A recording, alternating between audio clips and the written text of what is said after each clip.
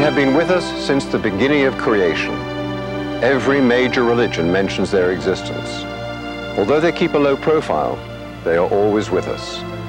Sometimes they have been even known to intercede in the affairs of mankind in times of crisis or spiritual renewal. We call them angels. The word itself means a messenger or one who is sent.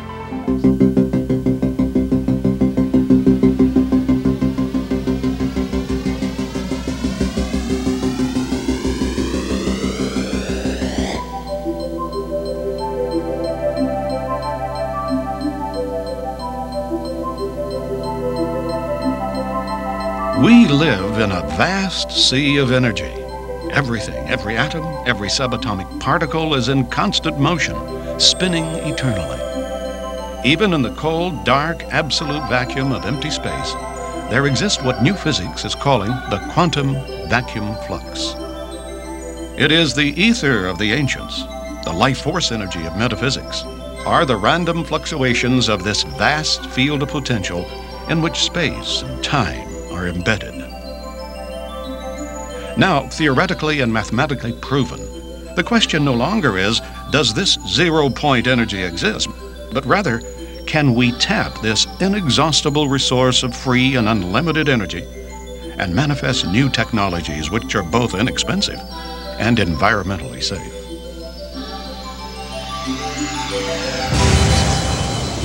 One thing is certain if we continue on the course of rapidly burning fossil fuels and relying on nuclear fission, the future of our civilization is in grave jeopardy. We're at a critical juncture where the ravages of industrial pollution and radioactive waste have exceeded the carrying capacity of Mother Earth. Our finite reserves of oil and gas will be completely exhausted by the year 2025 at the present rate of consumption. Large corporate and governmental self interest ignore this pending crisis and resist change to the status quo. The question must be asked is this the kind of world we want to pass down to future generations? Emerging on the frontiers of science, a pioneering breed of theoretical physicists and inspired inventors are challenging the way we think about harnessing the unseen forces of nature. Despite ridicule, lack of funding, and outright suppression, they are confronting an outmoded classical worldview and ushering in a monumental scientific revolution. In this program, you will witness the groundbreaking work of tireless inventors and visionary scientists who may hold the keys to true energy independence for every person on Earth, from Nikola Tesla to the reality of cold fusion and beyond. Join us as we present Free Energy, the race to zero point.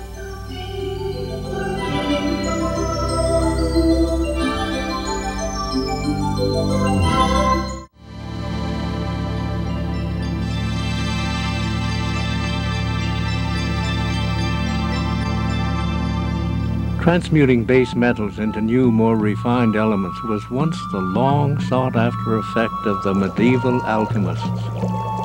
Turning lead into gold was a mythical dream until modern science proved that it could be done, although it required an immense amount of energy, making it highly impractical. Yet as early as 1992, cold fusion experimenters began reporting unusual appearances of trace amounts of different metals such as copper, silver, chromium, and zinc when examining their spent cells. Rechecking for possible contamination, scientists like Bockris and Miley confirmed that indeed new metals and isotopes were being formed, transmuted, during the process which produces excess heat. The biggest cover-up in history when a rancher named Mac Brazel found some wreckage and debris. Stuff was so unusual that the army had to see. Major Jesse Marcel thought it wasn't from these parts, and when they plot to cover up, it's then the rumor starts. Ship skin was thin as foil, strong as steel. It's a fact. Couldn't cut, scar, break, or bend it. Couldn't dent it with an axe. Inside it were these I-beams with real strange encryptions, just like hieroglyphics or stuff written by Egyptians. Flying saucers been reported all across the 48, but who thought they'd hit the ground like a crumpled license plate. When the army realized just exactly what they found, they packed it up on great big trucks quarantined the ground. They sent it to Wright-Patterson, the Air Force base of choice. A little while later, and our government changed its voice. When the Army's press release first said a flying disc had crashed. Now it's just a weather balloon that ended up all smashed. Whole thing sort of blew over till a few short decades later. Story got to interest UFO investigators. Witnesses came forward swearing aliens arrived. On a distant summer night, they said some died and some survived. Flying saucers been reported all thought they'd hit the ground like a crumpled license plate? Folks swore they must be Martians who had come here to invade. But they're only crash test dummies, so the Air Force thus explained. Crash test dummies, crash test dummies, crash test dummies, crash test dummies. It was rumored they had big heads and four fingers on each hand.